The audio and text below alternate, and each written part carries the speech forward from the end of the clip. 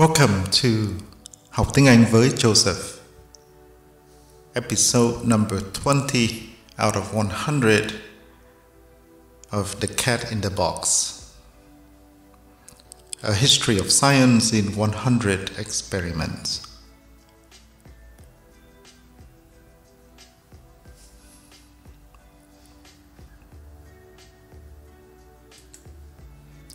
Twitching frogs and electric piles. During the 1790s, a series of experiments led to two major discoveries that electricity can flow from one place to another, and that electricity is important in operating the muscles of living animals. The second discovery came first when the Italian physician Luigi Galvani was dissecting a frog.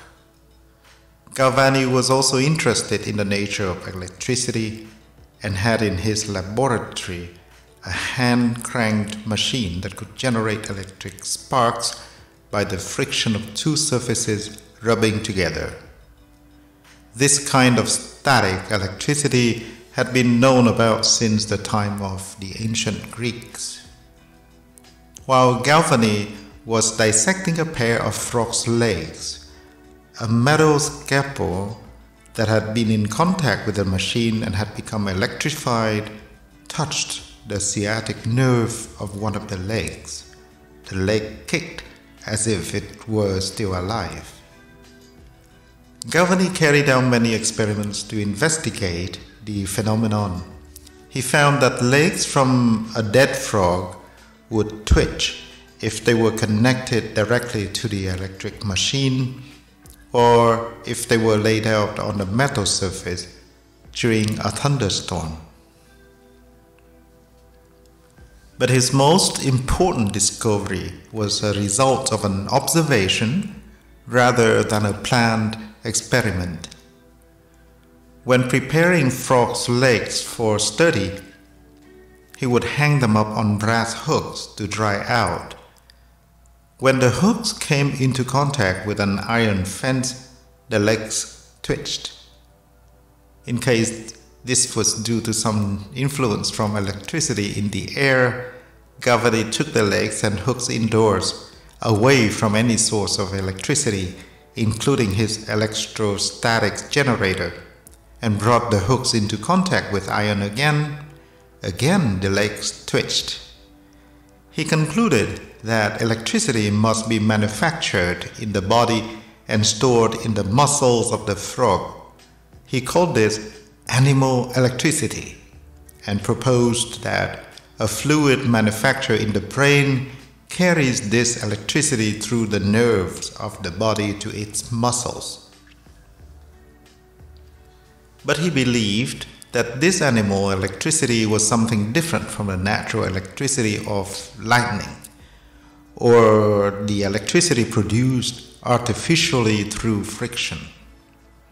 Most of Galvani's colleagues went along with this idea, which reinforced the idea of a special life force or spirit which distinguished living things from the non living world. But one person in particular strongly disagreed. He was another Italian, a physicist called Alessandro Volta.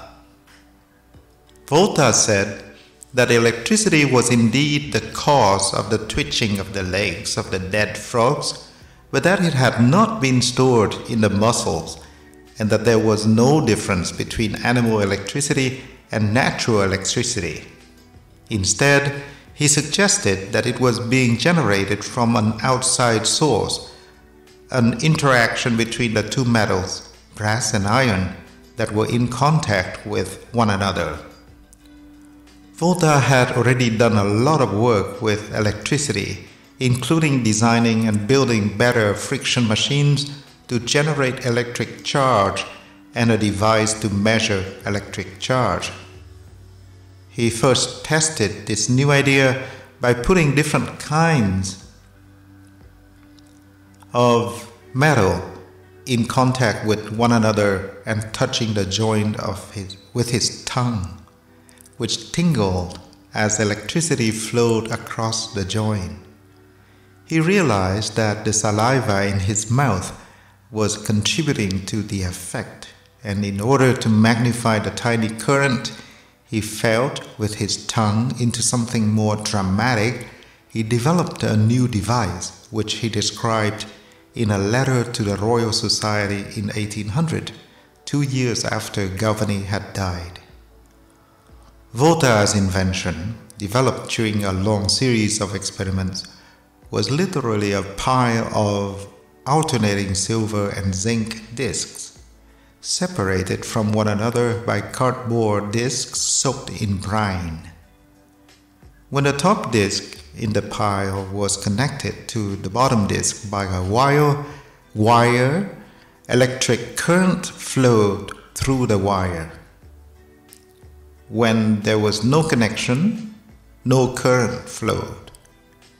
The device became known as voltaic pile, the forerunner of the modern battery. The term battery had actually already been used by Benjamin Franklin to describe a row of charged glass plates, which he likened to a row of cannon.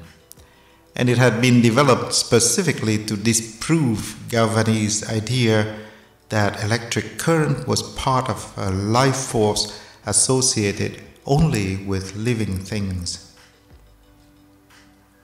But Galvani and Volta were each partly right. Electricity is generated in the human body, as Galvani thought, but by chemical processes operating in living cells, not solely in the brain. On the other hand, there is nothing special about this electricity, which is exactly the same as the electricity generated in non living systems such as voltaic piles. After 1800, scientists could work with electric currents that they could turn on and off as they wished, and they could make the current stronger by adding more disks to the pile or weaker by taking disks away. Very soon, scientists such as Humphry Davy were using this invention to revolutionize chemistry.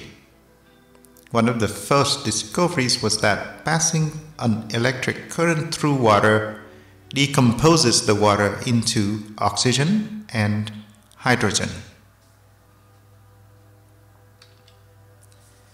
So, for the vocabulary section, we practice these following words. Dissect, mose, dissecting a frog, scalpel, scalpel, scalpel, yeah, not scalpel, scalpel, dao để mổ, sciatic nerve, sciatic nerve. Electrostatic generator. Electrostatic generator. Artificial. Artificially. Artificial distinguish distinguishing distinguish tingle tingle tete tingle saliva saliva nước miếng brine brine nước muối.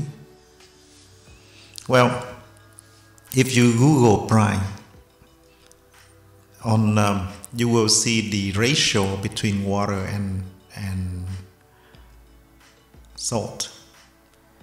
And brine is important to do all sort of things to preserve meat vegetable làm đồ chua anyway thank you for your time and as usual uh, I will see you in the next story. Bye for now